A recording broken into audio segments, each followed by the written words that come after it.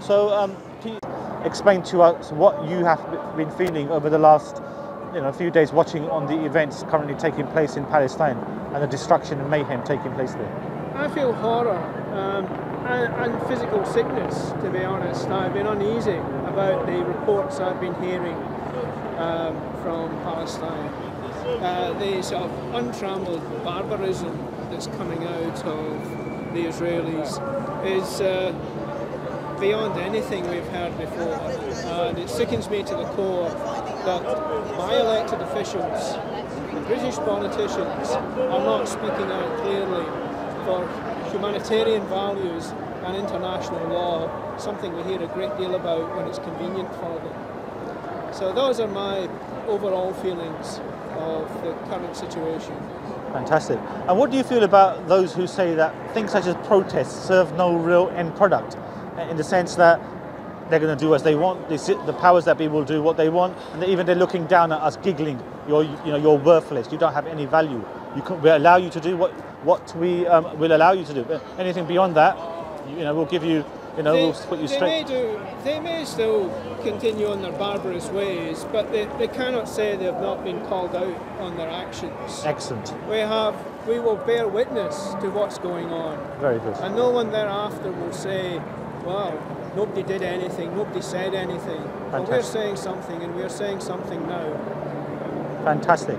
These are all fundamental points for our audience to observe as our friend here, Scotsman, passionately coming out, looking at defending the rights. It's simply as a human being he's looking out. So we should be extremely grateful to these people who've come out, given their time, given their energy, rather than people who are quite prone to criticizing these people, even amongst Muslim communities. And this is very sad to see. So for me, I would give you a salute, and I hope that you know Allah. We believe we are strong, strong Muslims, but we, we still believe that may our Creator guide you as well into accepting our Creator. I haven't really asked you about your beliefs. I don't want to, you know, relentlessly ask these questions. But um, yeah, so these are fantastic points to say that we're all human beings, and that we feel the pain of these people, and that as Muslims we should be, um, you know, inculcating. Um, um, and bringing to the indigenous masses because the people don't know what's going on. Our good friend here is well informed, but if we don't know what's, if the, if the indigenous masses don't know what's going on, then how are we really going to make a change?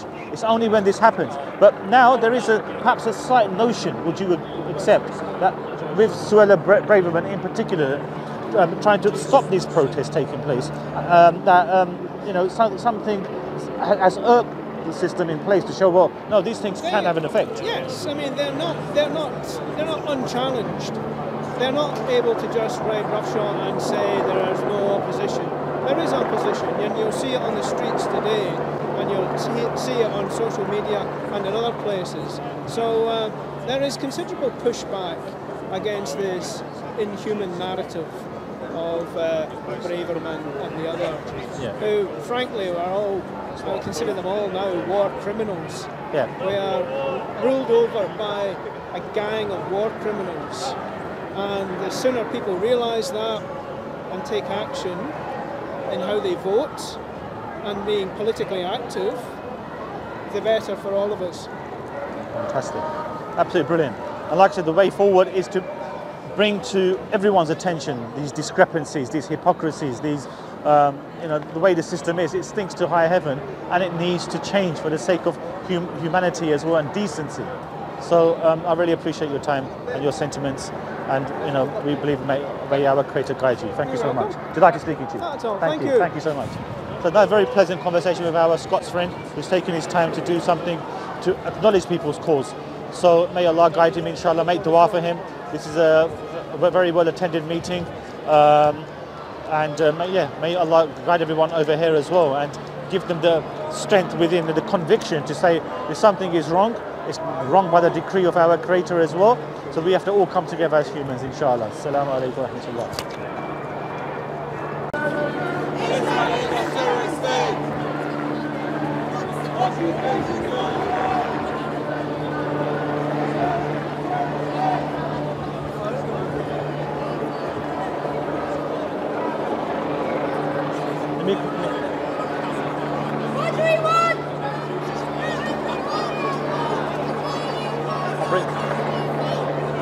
Good afternoon to you, madam. Am I able to bring you out of this for one moment to appear on our channel to express how you, in solidarity with this march, how you're feeling about the events that have occurred and why you feel it's so important that we all come together to try to make the world's attention palatable that what is happening there is unacceptable. What would you say? Yeah,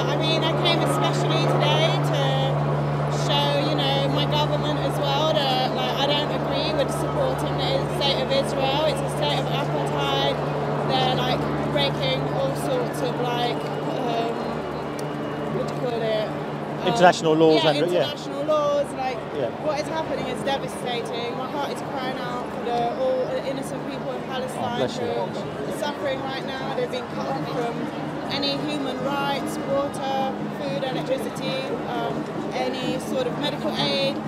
And yeah, it's really distressing, it's really upsetting, and I hope, you know, our government, English government, America are going to wake up and are going to tell Israel to stop this uh, Fantastic. genocide, basically. Thank- I could not have expressed that better myself. Really, thank you. You can please carry on with your talk. Thank you so much. Very pleasant comment from this very nice lady who has that apathy. She's got up. She's come to it when she could be doing so many other things, and just making people aware that this is unacceptable. What is happening? So the governments need to wake up. They need to wake up. Good afternoon to you, madam. May I take you out of the for one moment so you can appear just so that we want to ask Oh, you lost your voice. Oh, bless you. The last few weeks have affected you, that you've uh, brought you to come out to the public attention, the events that are happening in Palestine. What do you feel? I mean, how, how, how do you wish to express your sentiments? Obviously, it's like atrocious what's been going on. Um, just seriously angry that not a single person in the British government are standing up against how Palestinian people are being treated and how they're locked in. And it's devastating. Devastating. And what about, how do you feel about the warships gone off to, um, I mean, to Israel currently to, to supposedly defend um, Israeli positions? I think all the rhetoric around here and all the support is horrendous, and no one's talking about the reality of the situation, and it's horrific. That's why. Thank you, thank you for your time. Very strong comments. People are very much angry. People are upset. People are criticising the governments for not doing enough to stop this and looking at the reality, the brutal reality of the siege of the Palestinians. You see, the whole narrative is of oppression of the of of, of um, the Is- Israelis, and no one condones any type of harm on any innocent individual, whether they are Israeli or Palestinian. But the level of hypocrisy being here is definitively mind blowing that the suffering of those innocent children in particular, women, elderly, you know, it's just beyond belief. And people are really fuming. So, I mean, I'm of the personal belief this, these, these protests need to be relentless, day in, day out, week in, week out, month in, month out. Only then perhaps the governments will look. YouTube channel, which is like an Islamic channel. If you just want to express perhaps how you're feeling attending this march, what's compelled you to come out, any, any comments you would like to make? Well, I guess I've come because I've seen the news this week and everything that's happening in Gaza, which is obviously terrible, and to show solidarity with Palestinian people. Fantastic. And what message would you like to give to our governments? Stop arming Israel and stop giving your tacit support to the Israeli army by giving blanket justifications for what's going on in Gaza. And what would you say if they don't listen? What can we do, eh? That's, we're worthless. In fact, we as humans are worthless if you don't even want to listen to us. That's what it is. But let us hope your attendance here makes an effect. Thank you so much for your time. Excellent. Of our Palestinian brothers and sisters, just to let them know you're not you're not alone. People do care. It's just the system in place doesn't want your, your happiness, doesn't want your contentment. They want to subdue you. And that's a brutal fact. So it's a merciless world, and the people at the top are the merciless ones. That's a given. Everybody knows this.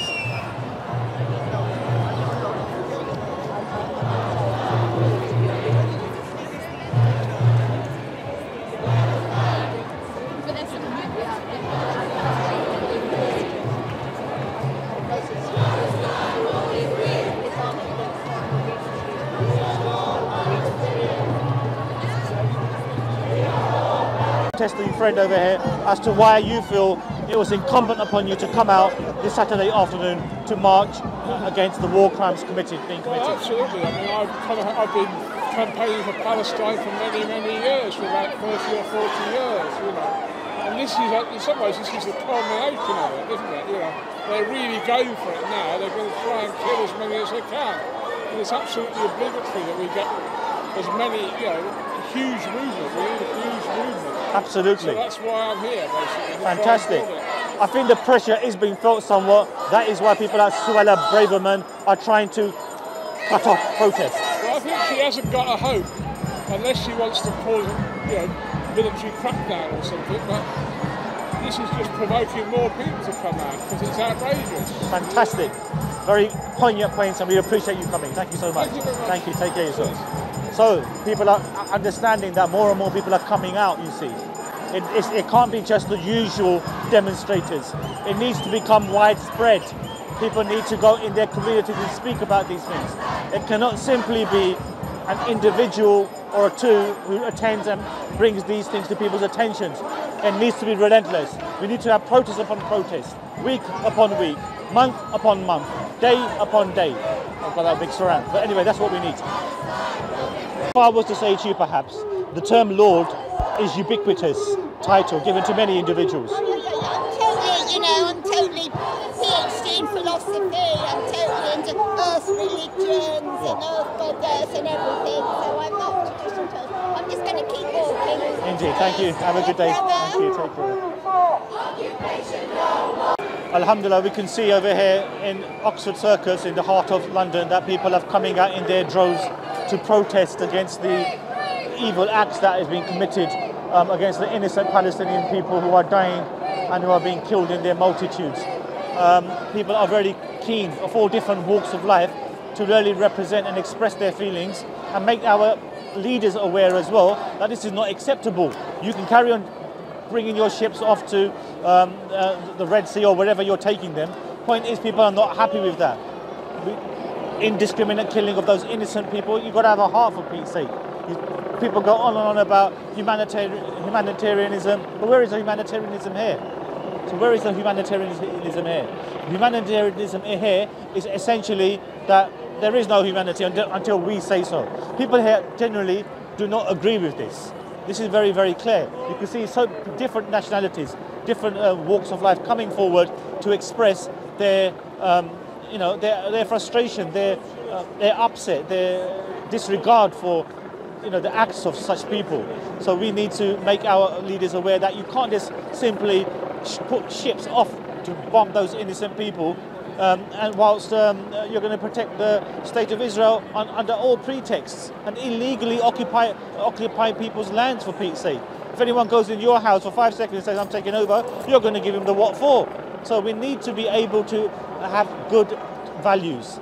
So if, if, if the Western governments truly want a peaceful coexistence with everyone, then they have to indeed themselves inculcate these matters and make things fair as possible.